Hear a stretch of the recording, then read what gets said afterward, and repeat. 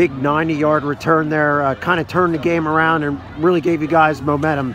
Talk about that uh, return. You shook three tackles and just took off. Yeah, as soon as I saw the ball go up in the air, I just caught it like I do in practice, nice and relaxed, and then just trusting my blockers, and it led to a big touchdown. Uh, Chase Snavely st- struggled a little bit in the first half. You guys didn't see the ball much, but in the second half, you guys exploded. Uh, big offensive performance against a pretty good team.